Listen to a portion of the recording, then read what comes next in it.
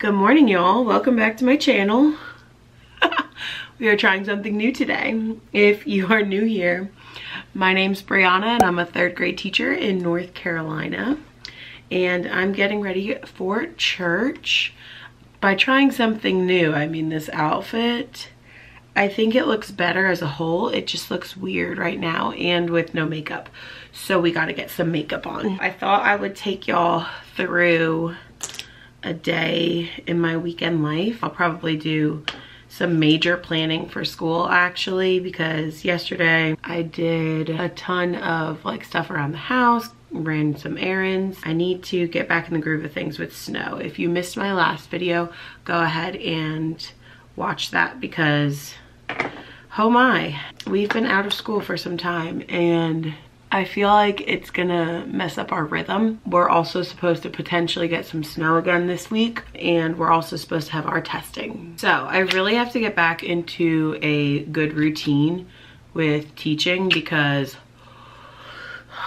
your girl is all out of sorts. Um, with it being the end of the quarter, I've had to rush with the snow days to get unfinished work done, grades in. How does how do grades work in y'all's school? Like we have to have three major grades in math, three major grades in reading. Obviously I have a ton of minor grades. I think we only need five, but I have more than that. Our majors are our tests or our projects. And then we need four minors in science and four minors in social studies. How do grades work for y'all? Because I was missing two majors for math just the way the snow fell so we took our final test for the quarter on Friday. They also had to do a project, which I was going to give them for their remote learning, but I then the school ran out of paper and so I couldn't get it together and it was just, oh my goodness. All right, I think I'm going to jump off here and jump on Instagram live and just chat with y'all while I finish getting ready, but the vlog will continue. Hey y'all, so I just got home from church. Haggy here is trying to steal my Subway. I picked up some Subway for lunch and I got a Mega Tea. Have you ever had a Mega Tea?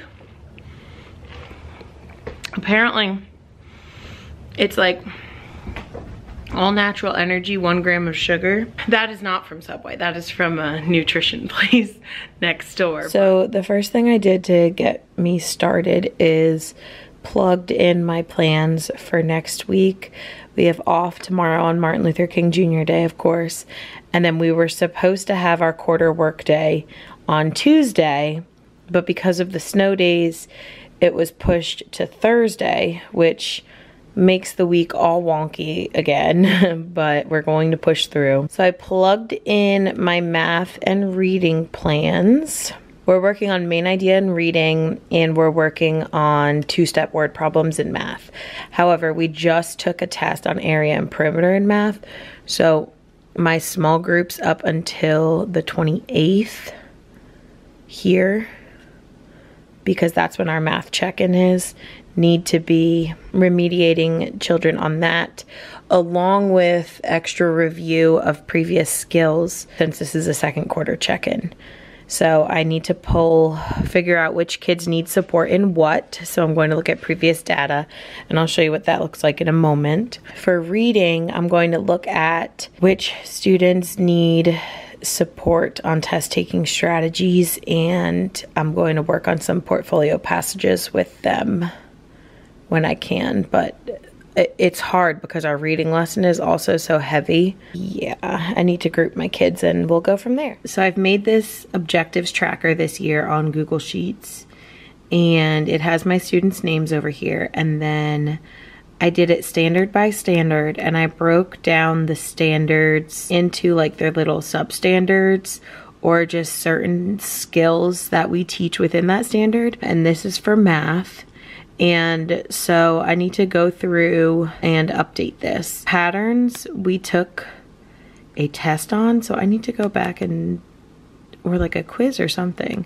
I guess I just never input the data. And then I update this also based on our weekly spiral review. We do morning work, which spirals through this. So that's where I get a lot of the rounding, the addition, subtraction, um, and things like that. So this is what our spiral review looks like. It's just from Carson Dellosa and it has four days on the front and then a Friday assessment, which is why I love it. And as you can see, I check this or my assistant checks this for my kids every morning so then we can assist them with anything they're struggling with and then by Friday everything that was reviewed throughout the week is then graded. So this is where I collect that data and I could see who's struggling in certain skills still. And if you've been a long time follower, I used to use this so meticulously on my students' intervention time, which I do definitely want to get back into. Alrighty, so I broke out good old good note with my iPad. And this is mailing Call from Miss Call's Campers Planner. Uh, so shout out to her. I'll link it down below. But I'm on the notes page and I wrote out all the standards that are going to be on the upcoming state test for math. I kept this one up here. Boy 8 is two-step word problems, which is what I am actually teaching the next two weeks. And then I have multiplication and division word problems, multiplication and division unknown numbers, uh, multiplying by multiples of 10, and then area and perimeter. So now I'm going to take all my notes and stuff and put my kids under these categories to basically make small groups for the week. And then I think what I want to do is focus on reviewing one standard a day. But for my students who have been successful with it before, I'm just going to give them like task cards or like an IXL skill or a freckle assignment to work on just to make sure I know that they are good to go. So when I'm teaching, I've been trying something a little bit more explicit this year with how I'm collecting data, specifically in math. I write the standard, I break it down just like I do on my Excel sheet. S means small group needed, H means I helped them out, and then I have room for notes so that I know what they were getting wrong. And I either make note of this while I'm walking around while they're working on whiteboards and we have problems on the board or when I check over their just independent work every day, whether I take it for a grade or not, I will make a note of what in that skill they are specifically struggling with.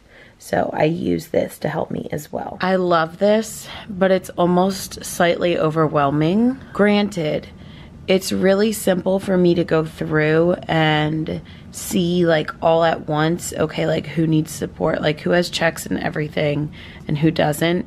And i kind of got into the habit of writing an h if they just needed like some notes because they made a little mistake. The problem right now is i didn't consistently use it daily. So now i have so much to go back on. Like i took the notes but I didn't do anything with them along the way. You know, we learn as we go. It's okay. For a lot of my kids, misnumber in the word problem, misread the word problem. They forgot about the square, adding in head, miscalculating. They know the steps a lot of them are just rushing. So that's very helpful.